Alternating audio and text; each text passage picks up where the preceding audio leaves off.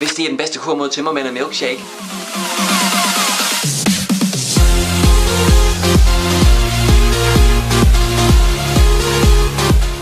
Oh my lord the question. Velkommen til endnu en episode af Kendte Blogger i Danmark. I er sikkert spændt på, hvad man skal snakke om, så jeg ringer til vores første gæst. Jeg har det Mads. Hey Mads, det er Lord the Question fra RNC. Du er heldig udtrukket til at være gæst på øhm, Kendte Blogger. Er det ikke fedt?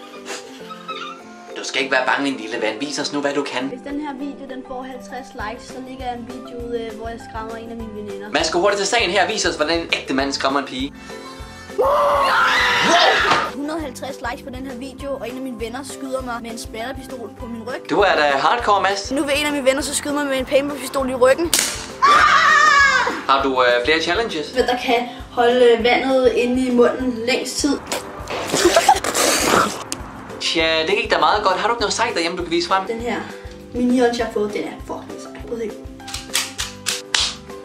Den er fucking grim. Ligesom alle andre synes om mig. Hvorfor synes jeg alle sammen, jeg er grim? Det er fordi, vi synes, du er grim.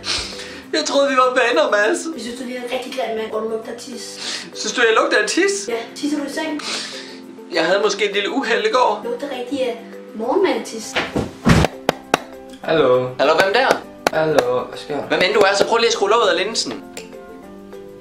Nå.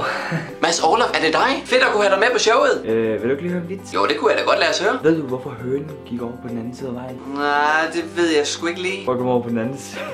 For, for at komme over på den anden side af vejen. God. Det var så plat, at jeg sagtens tror, du kunne finde noget andet, der irriterer mig med. Elsker du ikke også bare country? Nej, det gør jeg ved Gud ikke. Baby, lock the door and turn the lights down low. Oh god, please, hvor meget mere skal jeg tage i dag? Hvad irriterer mest dig, Mads? Hvis der er en ting, jeg virkelig, virkelig, virkelig hader, så er det når folk, de smasker. Åh, oh, jeg hader den lyd, når folk smasker. Hvad... Forstod du ikke lige, hvad jeg sagde? Jo, jo, jeg synes bare, det er sjovt, at irritere dig. Hvad irriterer dig ellers, Mads? Når folk, de tager deres gaffel og gnider op ad noget tallerken, der er. Åh, oh, jeg hører det.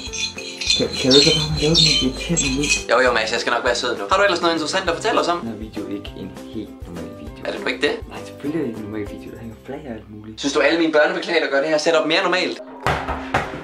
Wow! Karoline? Hvis du dunker en bold i hovedet, hvad har du så regnet med?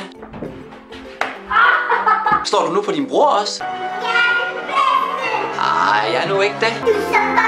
Siger pigen, der dolker sig selv i hovedet med en bold. Du lyder som om, du er trist. Fortæl os, hvad der er sket. Jeg var lige kommet hjem og glæder mig til en rigtig god Nutella-mad. Men så skete der noget virkelig, virkelig slemt. Åh oh, gud, der var ingen Nutella i skabet. Kan jeg trøste med en bøtte rosiner? Karoline, gå ind på værelset og køle af. Hvad nu? Oh my god, lav noget andet i stedet for.